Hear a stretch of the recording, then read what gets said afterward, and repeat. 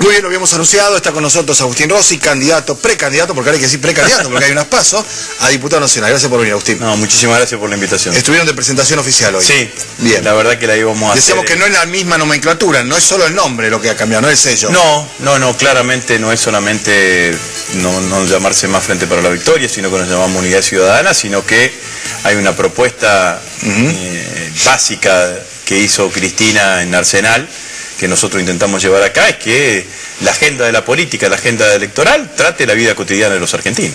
Que la vida cotidiana, las historias de vida, los problemas cotidianos de los argentinos estén subidos en el debate, en el debate político. Hay argentinos que no llegan a fin de mes y se endeudan para pagar deudas, hay argentinos que, que no tienen trabajo y la pasan mal porque seguramente alguna de las comidas diarias no la hacen, hay comercios que cierran porque la ecuación aumento de tarifa, aumento de alquiler y baja de ventas terminan cerrando, hay industrias que tienen que competir contra precios de importación casi a precio de dumping, los docentes universitarios no saben si empiezan el segundo cuatrimestre, los investigadores claramente complicados. Y además, bueno, eso también conlleva una, una propuesta, ¿no? Nosotros tenemos en, nuestra lista a Pablo Volcato, que es un investigador, eh, un científico de la ciudad de, la ciudad de Santa Fe. Eh, bueno, tuvimos que postergar eh, una semana la presentación de nuestra lista por el accidente que tuvo la Tana González, que le mandamos un, abrazo y, toda la fuerza que seguramente está poniendo como en otras etapas de su vida como para poder salir, para salir, adelante. Eh, bueno, Patricia Monier, que es la secretaria general de SADOP, que es la, número 3 de la lista de SADOP Santa Fe, eh, que, representa de alguna manera el, mundo de la, defensa del sistema educativo, el mundo del, el mundo del trabajo y, bueno, y, representa... Y eso inicialmente para afrontar una interna, una paso, una primaria, que en definitiva son las viejas y queridas internas, ¿no? Eh, que por primera vez también, como decíamos antes, el peronismo la hace desde llano, absolutamente, en la provincia de Santa Fe, ¿no? Sí, sí, sí, es cierto que tentamos en una situación singular, ¿no? La primera vez que yo competí en unas pasos fue contra Bielsa en el año 2007 y el peronismo era gobierno en Santa Fe y era gobierno y era gobierno nacional, ¿no? Pero pero ciertamente hoy la situación es una situación es una situación distinta desde el punto de vista del poder, pero yo creo que la elección es lo suficientemente importante eh, como para focalizarla desde otro lugar, ¿no? La verdad es que que en todo estos, este año y medio de gestión del presidente, del presidente Macri la calidad de vida de la mayoría de los argentinos se ha visto deteriorada. Los argentinos tienen angustia, tienen preocupaciones, no saben cómo va a seguir, no saben cómo van a seguir su futuro y para nosotros esto es consecuencia de la aplicación de un plan de ajuste, de un plan de ajuste liberal, neoliberal, macrista, el plan económico que están llevando adelante, que deteriora claramente los tejidos sociales de la, de la Argentina y que la elección puede ser una, una, enorme oportunidad para ponerle freno a esta política de ajuste. Muchos dicen, bueno, dicen, pero van a, las elecciones van a pasar y ustedes eh, y no se modifica el presidente. Bueno, pero si nosotros ganamos las elecciones y tenemos mayoría en el Congreso, por ejemplo, podemos plantear claramente, y de hecho va a ser mi primer proyecto de ley, que haya congelamiento de tarifa durante todo el año 2018. Y eso modifica la vida de todos los argentinos. Digamos, si vos en el 2018 no tenía aumento de tarifa, no tenía aumento de nasta, digamos, no te modifica la vida claramente, porque te alivia el bolsillo, tu bolsillo residencial, te hace otra ecuación económica para los comercios y para las industrias y empezás a hablar de otra cosa en la Ahora, eh, eso es una propuesta que eh, procede, digamos, de tu elaboración, digamos, como eventualmente proyecto.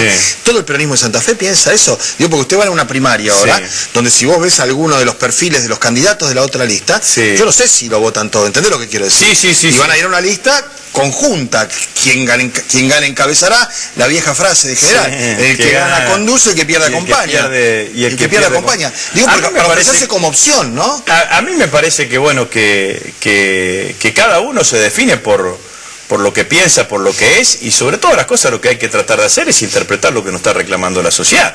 Ahora, si hay algún, algún dirigente político opositor en esta provincia de Santa Fe que piense que hay que seguir aumentando las tarifas de luz, que piense que hay que seguir aumentando las tarifas de gas, bueno, que se lo diga a la gente. Nosotros hoy, ¿qué hicimos cuando presentamos la lista? Firmamos un compromiso público 17 puntos que, todos los candidatos a diputados nacionales de Unidad Ciudadana de Santa Fe están dispuestos a cumplir. ¿Para qué? No solamente por los puntos que está ahí, sino como testimonio. Mañana cualquiera, vos, un periodista, un santafesino, que, que, me vea a mí en la Cámara de Diputados o alguno de otros los integrantes, no ratificando ese compromiso que ese compromiso que, que, firmamos, bueno, me, tendrá todo el derecho de decirme usted me defraudó. Y, lo digo porque en realidad es que me parece que también hay un quiebre en algún lugar de, de confianza entre sectores de la sociedad con la dirigencia política, porque la sensación no es eh, que, los nosotros tenemos que volver a recuperar de la idea de que la política te defiende. Porque este es, este es el otro debate profundo. El debate profundo es ¿para qué sirve la política? La política tiene que servir para defender a los que menos tienen. Los que más tienen no necesitan de la política para defenderse. Los poderosos no necesitan de la política para defenderse, no necesitan de las leyes. Lo que necesita una ley es la asignación universal por hijo. Lo que necesitó una ley fue el aguinaldo. Lo que necesita una ley es, una, es la paritaria.